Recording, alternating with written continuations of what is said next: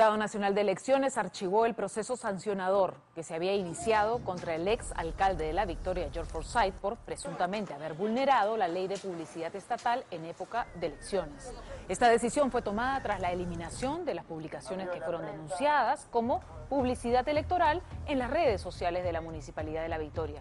Según este informe de la Dirección Nacional de Fiscalización de Procesos Electorales, Forsyth habría aparecido mientras era funcionario en video y banners de las redes sociales de la comuna durante el proceso electoral.